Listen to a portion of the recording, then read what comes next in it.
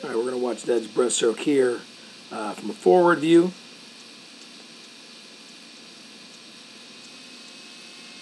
Hand drive forward really, really well.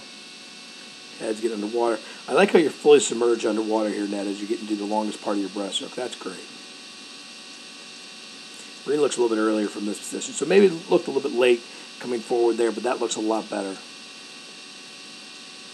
Good job of finishing your kick, but you kind of see it's a little bit of a glide. Let's work on that. Head position here is perfect.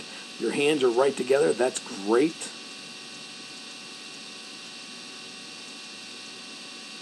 The other thing I really like, Ned, is I like how fully outstretched you are. Okay, let's not let those hands go quite so wide apart.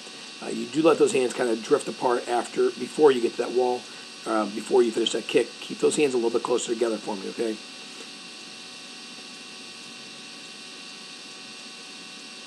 Good two-hand touch. Nice job of bringing this arm off the wall really, really quick. Uh, this elbow's a little bent, but that's okay. I'd like see a little bit straighter, but that's not bad.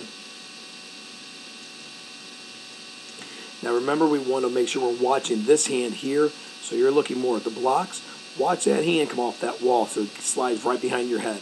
You have a good streamline underwater, but if you can get that head sliding or that hand and just watch it slide, you're going to be more in and out of that wall a little bit straighter, and that's going to be a better streamline position always.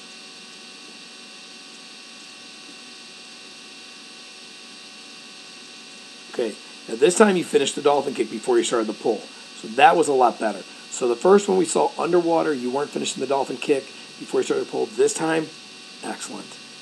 Good pull there.